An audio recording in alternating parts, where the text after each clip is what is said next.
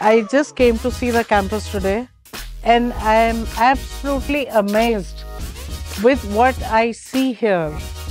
The amount of cleanliness, the amount of beauty, ambience, the student participation in orientation of the students and the parents, their arrangements, their lecture theatres, and the way the teachers spoke to all the audience.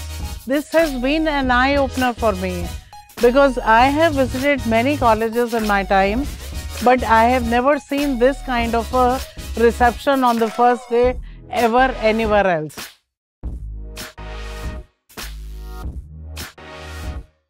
I had a couple of queries. I wanted to ask how much emolument uh, your best student got over these years.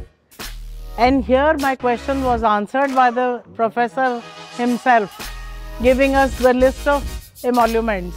That this is the highest pay packet we got, this is the average pay packet we got. So you see any confusion that is there in your mind got cleared after attending these sessions.